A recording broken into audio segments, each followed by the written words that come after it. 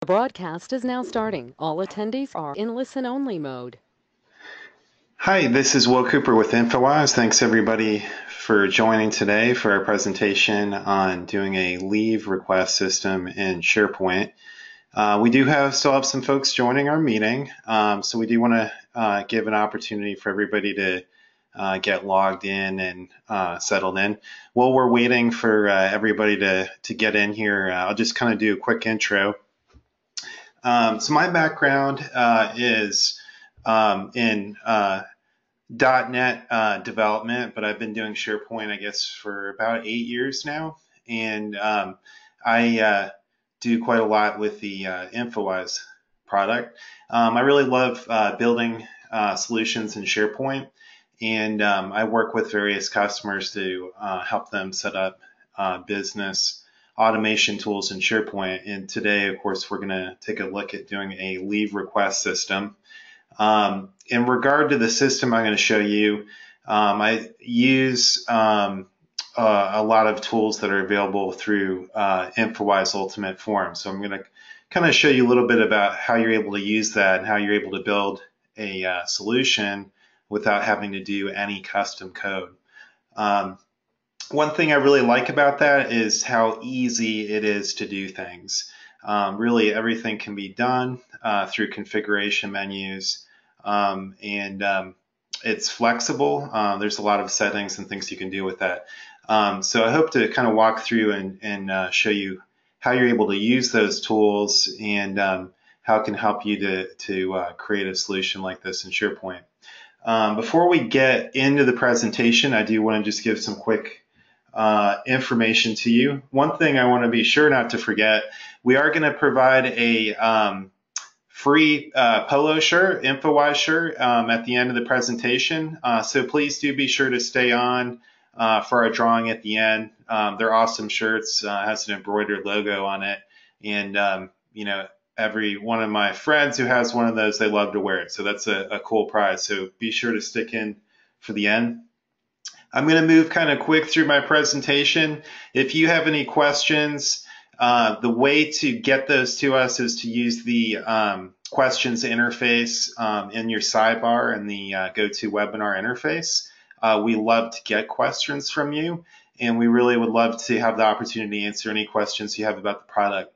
If for any reason today during the presentation we don't uh, answer your question completely or you want more information, uh, please reach out to us. Um, you can just go to the InfoWise site. Um, and uh, what you can do is either uh, just reach out to us, sales at InfoWiseSolutions.com, or uh, you can even sign up uh, for your own personalized demo um, if you're wanting to dig deeper and um, you know move forward to learn more about the product. Okay, so without further ado, we're going to go ahead and get into our presentation. Um, so what we're trying to do here is have an automated uh, leave request and tracking system in SharePoint. So there's uh, kind of two parts to this. I'm going to kind of outline some of the business requirements um, in our solution, and I'm going to show you from a user perspective how this will work. Um, and then as we get further along, I'm going to talk to you about uh, how it is that you go about creating this type of solution uh, using some of the InfoWise uh, settings and configuration. So the system that I've set up, uh, this is just a simple SharePoint site, um, and I have uh, a couple of lists. So the way the overall solution is going to work, we want to facilitate uh, for anybody in the organization to make a leave request, and um, basically they would you know need to put in the days they want you know for vacation especially and uh, submit that and then uh, we want to have a, uh, simple approval sign off process so that um, you know we can be sure that um, the manager is aware and they've they've okayed that and that type of thing. Um, so the request system is one side of that that'll have its own list. And then the other part of this um, is going to be uh, utilized by our HR department. And this is the actual um, system of record, if you want to think of it uh, that way. This will be um, actual entries of approved vacation. And in that list, we want to do some tracking. Um, you know, we want to see how many hours and days have been used compared to, um, you know, what's available to particular employees. Um, so that's the general concept we're shooting for. Also tied to this, we've got a uh, calendar. We want to be able to look on a calendar, uh, have something available. So, um, you know, I might be able to check as an employee and see, you know, who's going to be out on vacation. Dashboards are really important in SharePoint. Um, in SharePoint, pages can look kind of blah and boring.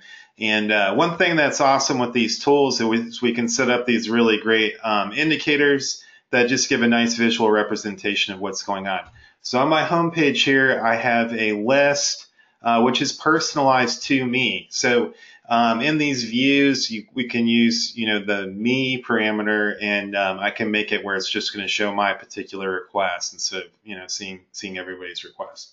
Um, so let me start out uh, by going into the leave request, and um, I'm going to put on my employee hat and I'm going to submit a request because I want to take some vacation.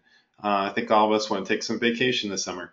Okay, um, so right off the bat, you're going to notice this doesn't look like uh, out of the box SharePoint. I've got a tabbed uh, form, and this is what InfoWise lets you set up really easily. Um, I just want to make this easier for the user. So we kind of have some automatic functionality. Notice when I open the form, it automatically defaulted my name. Um, so it's collecting the current user. I didn't have to do any scripting for that. I'll show you later. That's just a simple configuration setting.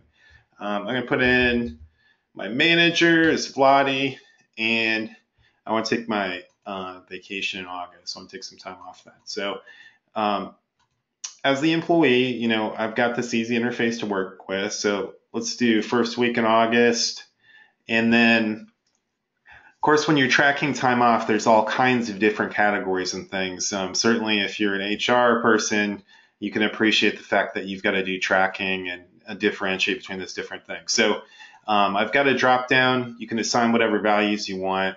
And um, notice I've also kind of got a, a, a icon tied to that. So I'm just going to do vacation. And what's going on here is I actually have uh, an associated items list. And this is another thing that we can do with InfoWise that's really simple. Um, I can have a many to one relationship uh, between two different lists. So I have a list uh, for these leave request um, line items, and I don't have to leave the form or anything like that. I can just go through here and you know enter my items this is good because things aren't just always as simple as I'm taking a week off, right? Uh, sometimes somebody takes a couple of days off, they take a half day off. Uh, we have different situations that come up. It could be a sick day, uh, could be the child was sick, um, jury duty, all kinds of different types of things we need to account for. But in terms of building the system, it's simple. We're just going to create a, uh, a choice with some icons uh, tied to that. So uh, for my example, I'm just going to keep it really simple. We're going to say I'm going to do three days of vacation. Okay. Um, so I'm going to do one more day for August 8. Put that in. Eight more hours. So I don't even have to open up a another, you know, typical SharePoint list form. It's doing it inline for me, which is pretty cool. Okay, another thing we've got is a signature field. So that's new. That's not in SharePoint normally. Um, there's different ways you can configure this. Um, the simplest way is checkbox, but you can also do where they actually can sign with the mouse or something like that. So um, this is nice because it gives us a date timestamp and we ensure that it was actually the right person uh, doing the request. And then our default status is just going to be requested. Okay, that's all we have to do. So that's important because this isn't a very good system if the employee has to do very much, right? If, if unless it's simple, they're going to get confused and it's just not going to be really easy to work with. Um, so on their end, they just fill out the simple form. That's all they got to do. Now, what we'd like to do in here is we want to have some email alerts and kind of have like a, a prompt, right? If they make a request, somebody needs to know because they're going to have to do something. Um, so in this system, we do have a simple um, approval type system. So I'll show you how um, InfoWise lets you do some really nice email alerts here in a second. Um, but first, let me talk to you about the intended steps. Notice we've got a couple of fields, approver one signature, approver two signature. Um, I have a couple more signature fields. So this would be for the manager. So, um, you know, we can make that email alert go out. I'll just put my name in here just for test purposes. Um, but basically, uh, they can just check that box. And uh, so we can kind of have a, a, sequential approval process, if you will. You know, usually you need some kind of approval when somebody is requesting vacation time. Okay, notice the signature field here changes. It gives me a nice date timestamp, and it shows uh, who was the person who uh, did that sign off. Also, uh, we've got some automatic calculation on that list. So I did three days at eight hours. It gives me the total hours for that. So once the approvals are all set, uh, notice I have one uh, earlier, got our approvals. Um, basically, uh, we could update status and say, okay, looks like that's approved. Uh, we got our signatures. And so once the request goes through, basically that is the trigger for our system uh, where we can let HR know uh, to go ahead and enter this into the leave tracking system. Okay, so let's take a look at that list real quick. General concept here is for our employees, we like to think of things on a yearly basis, right? Um, you know, depending on how long you've worked at a company, you know, typically you have two or three or four weeks, depending on um, seniority, um, you know, various factors. So uh, we need to have that in the system because we're trying to account for um, how many hours have been used up, how many are left, things like that. We want HR to manage this. So one thing we would certainly want to do is make sure that the um, security is set on this list so that HR can manage this information. Um, one thing we can do is make this information readable uh, for that particular uh, employee. Okay, so in this system, uh, basically, uh, we take the year and we fill in kind of some information about the employee, and this just gives us a roll up of all the different days that employee's taken off, their total hours for the year. This is what I referred to earlier as the uh, system of record. Okay. Um, just like the other list, we've got the many to one relationship. So I can enter uh, multiple days in here and I can even get, you know, granular if I want to. I could put in a half day of four hours or whatever. I can be very specific. Um, we've got the employees department, uh, which year this is for. Um, sometimes you have a concept of carryover days, you know, from the preceding year. Um, so considering these are intended to be one record per employee year, um, you can kind of uh, enter the number when you start the next year of uh, any hours that carried over, that kind of thing. Okay, um, so this is what HR is going to do. And then we get some uh, cool indicators here. So you see this bar on the side. What that's showing us is basically, it's kind of like how much gas is left in the tank as their employees using hours um, compared to you know what they have available, that bar is going to go down. So this helps because you know HR can make sure that somebody doesn't you know take two months of vacation when they actually were supposed to you know only have two weeks available, that type of thing. So that bar is going to go down automatically, and that's all automated based on those automatic calculations of, of hours. Um, one thing that's cool uh, through calculated fields uh, we can do some calculations. We have an accrual rate, and then based on where we are in the calendar year, um, it can do a calculation for us. Okay, so that's generally how the system works. What I really want to show you is the stuff that's most exciting to me, which is how easy it is to uh, apply these settings and how you can kind of go from the plain vanilla world of out of the box SharePoint uh, to these dynamic forms where you can uh, get these indicators, um, get email alerts, um, and get some of this automation um, that you want, and and to be able to do it without having to, uh, you know, write code, go through any headaches, have to use SharePoint Designer or uh, other tools, stuff like that. That's generally takes a lot of extra steps and works, and that's not really the kind of thing that uh, most of us want to have to do. So InfoWise Ultimate Forms deploys uh, completely inside of your SharePoint interface. That's really important. The reason it's so important is because you don't have to take a lot of extra steps. You can get to your settings fast. Um, it's right there um, in your screen. It's really just the same as going to the list settings screen. Um, so everything you do is going to be from the context of the list. You have a couple ways to get to the settings. I'm in an on-premise SharePoint environment at the moment. Um, all of these uh, tools and abilities, um, all the full functionalities, and for both for Office 365 and for on-premise. Um, but if I go in to this puzzle piece icon from the ribbon menu, this is the hub, if you will, for the InfoWise settings. This is the InfoWise uh, settings screen. And this gives you a menu of all these tools. This is this like I'm opening up the toolbox and these are all the many things you can do. The first thing that you're going to want to um, experiment with, um, and really to me in many ways it's the most fun, is the um, tab setup, you know, laying out the form and also the um, those icon fields. Okay, so in InfoWise we have something called a color choice field. And this is a replacement of the SharePoint regular choice field, which is where you do a drop-down list. And instead of doing a drop-down list, uh, what I can do is take choices and replace them with icons. We've got a lot of uh, different types of icons you can do. Um, so when I go in here, uh, let me put something in there. Okay, when I go in here, um, I basically can map things. You know, typically when you're doing status and things like that, you of have a good, medium, bad, um, and you, you want to have something that goes to that.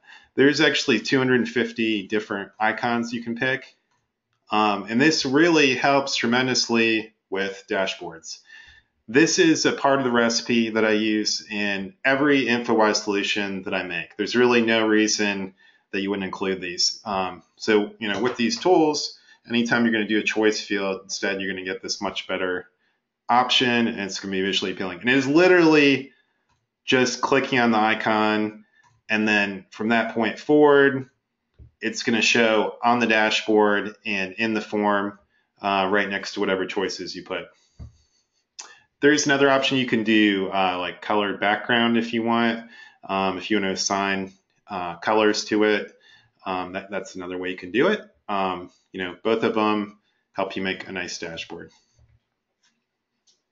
Okay, so that's one of the simplest, easiest things you can do, you know, within a minute after you start using this. Um, in terms of the form customization, the tab configuration is important. And the reason that it's so important is because with these solutions, um, you know, in SharePoint, if you end up with 15, 20, 30 fields, you quickly end up with this long scrolling form. Uh, not very nice to look at, not user friendly, um, and not flexible in any way. Uh, as far as creating your customized form, you just uh, come into this tab settings area and you can create tabs just as simple as type a name for tab and click add and it will show up in here. And once I have that in there, it shows you in this menu a list of the columns and you just map them over. That's all I got to do.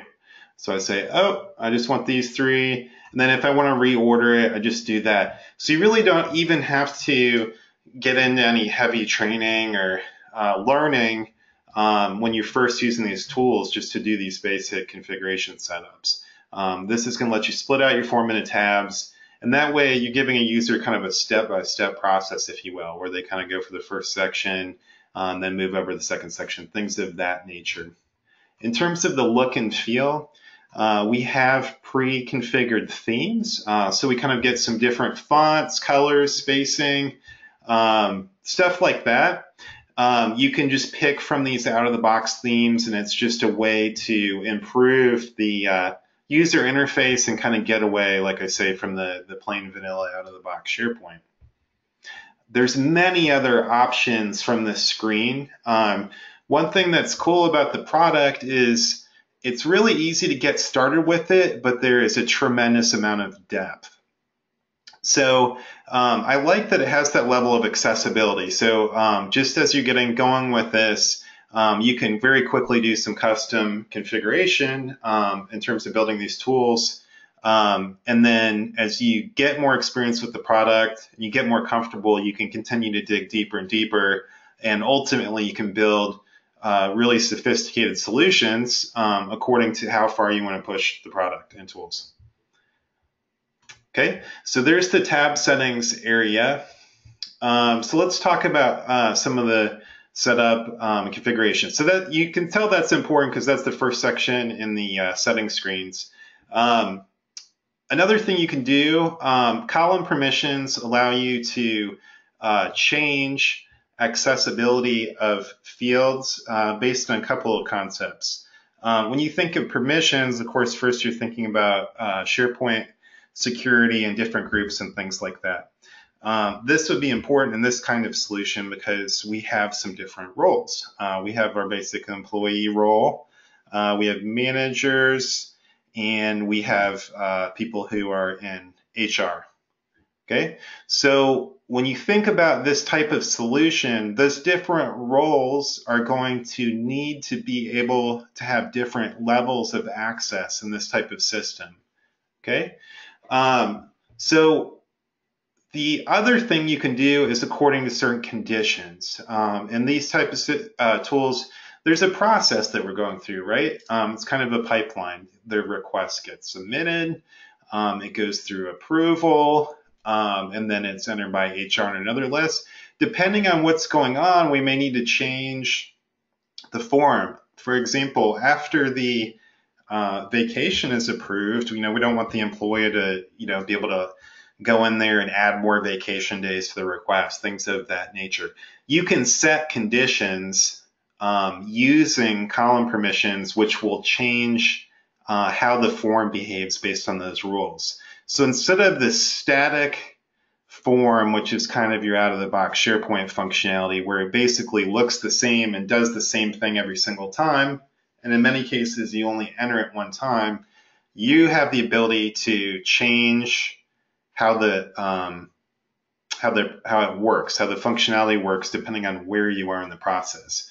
So in the case of our form, um, I could do something, for example, uh, like say uh, let's see, I can make it where um, requester, you know, you can't change that, um, it, or it becomes readable uh, when status, whoops, status equals approved, something like that. Um, notice I'm doing it through configuration. I don't have to write any code. And uh, what I can do is basically just click the um, add button and it would show up in the menu at the top. Okay. Uh, so another thing that kind of goes hand in hand with that is uh, validation rules. When you're working with your list in SharePoint, usually you're just kind of thinking about um, things being required or not required. Uh, not a very flexible concept, at least in terms of what SharePoint normally would give you. Uh, with InfoWise, you can uh, define, you know, uh, more specific rules about um, maybe at a particular part in the process something's required. So, for example, we were talking about approved. Uh, if you recall, we had a couple of signature fields, and we need to have those uh, signed off on before the um, you know before we want the status to be able to go to approve. So we can actually set up validation against that and ensure that that would never happen. Basically, that the status can't change for that. Um, so uh, what I could say is status not equals uh, approved. And I can even type out a message here. I could say status can't be approved until both approval signatures, whatever message I want. I can update this anytime and then I can do a check. So I can do uh, approver one signature equals yes, and I can add another role and say also approver two signature equals yes. Okay, and once I've added that in there, um, it will give me a validation error. So if I don't have those approvals yet, so we can uh, basically kind of like capture those different situations so that we never get invalid uh, data or somebody doing an action that we don't want them to. Um, so validation is uh, really beneficial. Now behind that, if you guys uh, think in terms of automation, you have to have some kind of workflow engine. You have to have uh, some kind of way to define steps and especially have triggers. Um, uh, especially if you look at some of the things that are going on with Microsoft right now uh, in terms of uh, flow um, or uh, other types of systems, or if you've used SharePoint Designer to do SharePoint workflows, uh, you know that um, in terms of logic and using things in SharePoint, basically, if you are wanting to build anything but the most simple solution, you have to have some ability to do that. SharePoint Designer and SharePoint Workflow um, really are, are, a hassle. There's a lot of layers to it. Typically, it's developer kind of tasks. It's not easy to work with. It hasn't evolved. And furthermore, we know they're not even going to make a new version of SharePoint Designer um, past the 2013 version. Uh, so we really need to think in terms of a more accessible uh, solution. All right, so with InfoWise, uh, you have a very robust uh, area to define that type of logic. And all the types of things that you might do as a user or that you might want to do in workflow, those are all accessible to you right from the Actions interface. Uh, most typically, what I would want to do is uh, do things like update items uh, in SharePoint. Uh, but as we mentioned earlier, I'd like to do things like, um, here, let me put something in here. Uh, so what happens is once I create the column, it's going to store these settings in here. And these are all the different uh, types of actions I can trigger. So uh, we had mentioned we need to have the emails go out. Uh, you get a trigger for that. Uh, we can do things even um, as interesting as creating sites and lists. Um, we can uh, do PDF output. That's another InfoWise capability. If you guys like to do reporting, uh, you can set up templates for that and um, we can automate that. We can trigger that just based on a button in the user interface. Um, so many different types of things. I've got the configuration to do that. Again, I'm not having to write any custom uh, code to do these actions. Um, basically, like I say, I just need to define a trigger. Um, I define which uh, forms this would occur in uh, and what the condition is. Uh, for example, if uh, status after change equals approved, you know, we want the uh, email to go out, right? Um, and then the action settings, um, that's going to include uh, what it is that I want to do. Okay, um, so that's a really uh, powerful piece of functionality. And what I mentioned earlier is it's embedded directly in your SharePoint interface um, really just a couple of clicks away, um, I can go through and set up an action.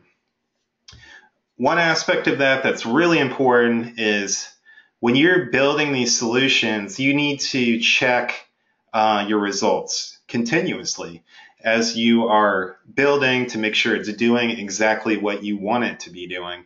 And that um, being able to quickly get to the setting, apply the setting, come back and test your form, and kind of get that tight uh, circle um, is absolutely critical. Um, and I can tell you, um, in my development experience, having built solutions um, utilizing InfoWise tools over the last four to five years, um, it it makes my job uh, so much easier. I get that immediate confirmation uh, that the form and functionality is doing what I expect it to do. Or if I get off track a little bit, um, I can make that adjustment. Um, if I were trying to do the workflow in SharePoint Designer, it would be a completely different story, much slower and more cumbersome. So um, I really have found that I rarely have to use that at all anymore, um, you know, having these tools available. Another thing I'll show you real quick, um, which is just one of many of the other tools that you get in here. Um, there is an InfoWise uh, calendar. Uh, which greatly extends upon the uh, plain uh, SharePoint calendar that you get out of the box. Um, so what you're seeing here is a consolidated calendar of um, all the uh, vacation days and leave for various employees. So you can see this would be beneficial um, if I might want to see who's going to be out um, particular weeks, especially as a manager. In the top, you see a uh, filter option. Um, so I can uh, pick uh, from various departments because you can see how this month view otherwise uh, could get very crowded. Um, so we have that. And then um, we have a lot more different views. So uh, with SharePoint, you know, normally you're probably looking at the month or day view or something like that, but also we have uh, we have a Gantt view. Um, so we have different ways we can look at our data. There's a lot of different ways that you could implement this system. Um, and that just speaks to the flexibility of what the tools are. Um, I think every organization probably would have uh, slightly different business requirements in terms of what their business rules are related to leave requests. And with this product and with these tools, um, this gives you the flexibility to do that, but again, with no without having to do custom programming. So what I what I want to talk about real quick, and then we'll quickly get to the um, shirt giveaway. Um, I want to just talk about um, how you can further explore these tools because I really want you to experience some of that, not you know necessarily just take my word for it. Um, so with InfoWise, trying it out, it's really easy and you know risk free pretty much. Um, the trial is something you get; it's full functionality. Um, if you just click on the big orange button there, um, it tells you what to do. So if you're on premise, uh, shoot us an email and we'll get the installer going for you, and uh, you get the full product, so you can just install it on your SharePoint farm and try it out.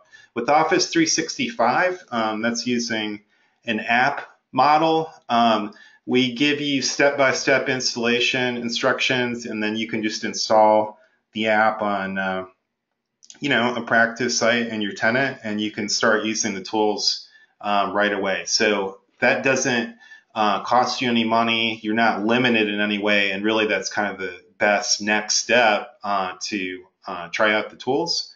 Um, and then in terms of kind of ramp up at that point, there's a lot of information where we're going to empower you and give you the ability to learn this stuff um, without feeling uh, kind of confused and out on your own.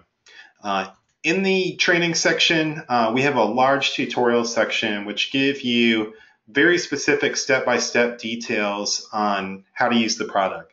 Uh, so we give you screenshots. Um, there's actual YouTube videos and walkthroughs of all the specific things. Uh, so you can actually uh, do some practice and see um, examples of how to apply those configuration settings.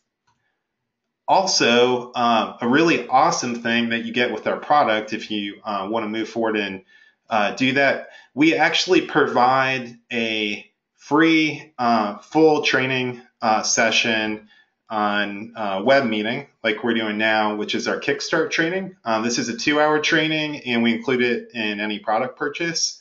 Um, so this is a really great opportunity for you to ramp up quickly. And in that session, we actually show you step by step. I'll actually show you the settings of building a help desk solution. So that's something that many organizations need and we do that in Office 365. Um, so that's cool. You you have something that's going to um, let your team you know attend and actually do some training um, instead of uh, just feeling like you're you're kind of on your own. And then beyond that, we have uh, more formal uh, training available. We do a lot to improve the product. Every month, we're coming out with new features, and this has been going on for years. At this stage, um, the product is loaded with so many features. There's really a lot of great stuff, even when I started working with it five years ago. But every month we've been adding more functionality to it, and um, it's pretty amazing to me how many different things you're able to do in this product. So uh, it's just a really cool aspect of these tools that uh, pretty much continuously you're going to discover more and more things that you can do with it um, so you kind of get to the point where I am where um, I really um, just don't even want to be in a world where I don't have the, this kind of flexibility and tools available in terms of developing solutions. Um, so we have lots of great examples on our site. We blog post on that. We send newsletters. Um, so we really try to keep open communication with our customers. Um, support is included with the product if, if you get that kind of package. Um, we've got our pricing up there. Um, let's go ahead and do a drawing for uh, shirts real quick. Um, so what I'm going to do is in the chat, if you guys want to enter um, a number uh, 1 to 100, and I'm going to give you guys um, a little bit of time to enter that, and then I'm going to announce a winner. So uh, go ahead and enter numbers for me when you're ready. Give you guys about 15 more seconds, then we're going to go ahead and give a shirt. And I just want to mention this does have to be in the U.S. And the reason is because shipping is really expensive to send shirts out of the side of the United States. All right, we got anybody else? Three, two, one. All right, um, I have a winner. Okay, hopefully I say this name right. Um, Judy Cordus. Cordus. Um, if you can send me an email, Judy, my email is willc at infowisesolutions.com, W-I-L-L-C at infowisesolutions.com. Go ahead and let me know your address and your shirt size. We'll get you taken care of. Um, I did see a lot of questions in the chat during our session. Uh, one of my colleagues, Vladi, has uh, been trying to answer that for you. If for any reason um, you didn't get your question answered, there's more you want on that, um, feel free to email me direct. Um, I just uh, mentioned my email, or you can email our sales team, sales at. And another thing I mentioned, um, if you really want the opportunity to talk to us uh, directly, uh, absolutely feel free. We'd be very happy if you want to sign up for a one-on-one demo. To sign up for that, just click on the request a demo button and uh, we can get into things that are more specific to a project that you're working on or particular things that you want to know about the product. So you can just sign up to the website there. Um, so that's pretty much everything um, I had to show for our presentation today. I really appreciate you guys' time. Um, I hope you feel my enthusiasm for the product. Obviously, we're a business and we want to get customers, but we really do have a passion for the for these tools.